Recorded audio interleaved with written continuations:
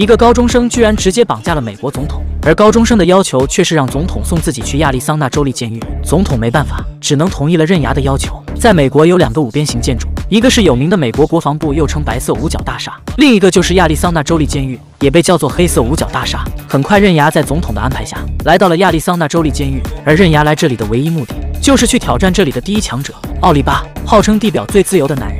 进入监狱，首先要脱掉全部衣物，然后再经过金属探测器的检测，防止有人携带私物。接着采集指纹和视网膜数据，然后是 DNA 样本，建立一份关于犯人的专属档案。最后还会做一个全身的磁共振扫描，而犯人的档案最终会来到黄毛典狱长的手中。典狱长摘下墨镜，告诉刃牙：“地表最自由的男人知道你来了，打算破例与你见面。”随后，刃牙跟随狱警来到关押重刑罪犯的长廊，这里每十公尺就会设立一个亚克力墙。这里的每个犯人都是极其变态，要刃牙做他们的女朋友。经过重重关卡后，刃牙终于来到了奥利巴所在的地方。然而，让刃牙惊讶的是，在监狱里，奥利巴住的地方竟比总统套房还奢华。在这里，奥利巴被奉为最尊贵的人。接下来，刃牙独自往公寓的深处走去。很快，刃牙便见到了奥利巴本人。奥利巴非常欢迎刃牙的到来。并且用顶级的茉莉花茶招待刃牙，随即刃牙开门见山地说出了自己的目的。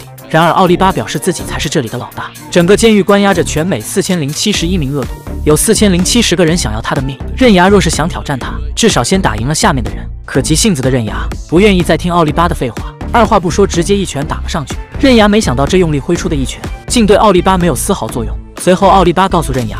先去找监狱的二把手锻炼锻炼，再来挑战自己。进入牢房的刃牙正寻找自己的床位时，一个黑影叫出了刃牙的名字，而这个老黑居然就是拳王泰森。泰森让刃牙小声一点，随便找个床位先睡。刃牙以为泰森就是这座监狱里第二强的人，而泰森却告诉刃牙自己在这里只配给人擦屁股，连前十都进不去，跟监狱的排名一点关系都没有。他还想多活两年。泰森的话惊掉了刃牙的下巴，可这时一位老人让泰森小声点，别吵醒了二先生。而此时刃牙发现一旁的床位上有一位正舒展着身体、体型巨大的壮汉，难道他就是二先生？这时老人告诉刃牙，今晚可能是你在监狱睡得最安稳的一晚。一夜无话，很快警铃响起，第二天到来。起床的刃牙发现面前站着一个身高超过两米五的壮汉，难道他就是二先生吗？正当刃牙考虑是否要在这里挑战二先生时，却不料壮汉恭敬地对着旁边的储物柜说了一句：“二先生。”此刻，真正的二先生出现在刃牙的面前，随即刃牙便对二先生发起了挑战。刃牙这番话直接吓傻了在场众人。正当大战一触即发时，突然狱警出现，打断了这场对战。在这所监狱里，所有罪犯都必须服从狱警的安排，犯人们大气都不敢喘一下。而这时走来一位特殊的存在，那便是二先生，不仅打着哈欠大摇大摆的闲逛。甚至还和狱警勾肩搭背，拿出狱警的香烟，美美的享受起来。可狱警仿佛没看到二先生的存在。刃牙不明白二先生为何可以这么自在，但我们的泰森就没那么好过了，因为说了一句话被狱警一顿暴锤。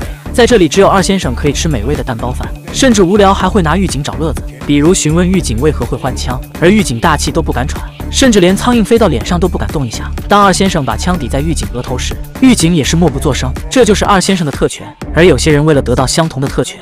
便会向二先生发起挑战。